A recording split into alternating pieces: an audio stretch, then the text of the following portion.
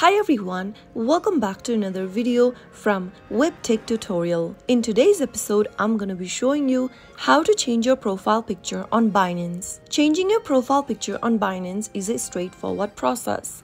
So let's dive into the video. Launch open Binance application and log into your account by entering your correct credentials. Once signed into Binance, tap on the Binance logo icon at the top left hand corner. In the profile page appearing on the screen, tap on your name at the top of the screen. Now, tap on the pencil icon right next to your name inside account info. From the display, choose the change button right next to avatar and then you can personalize your avatar. Now you can select an avatar to use as your profile picture from the options. Now tap save and then this will be able to change your profile picture on Binance as you can see it on the display. So that is how easy it is to change your profile avatar on Binance within a few minutes. So if you found the video to be helpful, go ahead and give us a thumbs up. Don't forget to subscribe to the channel by hitting the subscribe button. Also, press on the bell icon so that you'll never miss another upcoming upload from us. I will be back again with the next video.